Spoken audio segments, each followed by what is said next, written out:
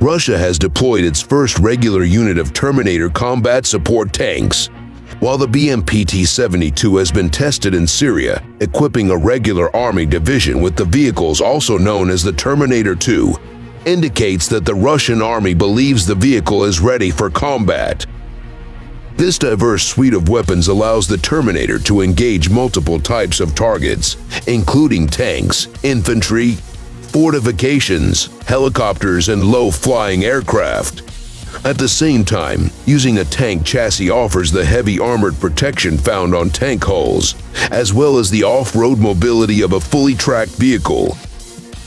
The BMP-T-72 is meant to be a support vehicle with enough armor protection to accompany MBT like the T-80, T-90, regular T-72, and the new T-14 Armata into combat. At the same time, its rapid-fire cannon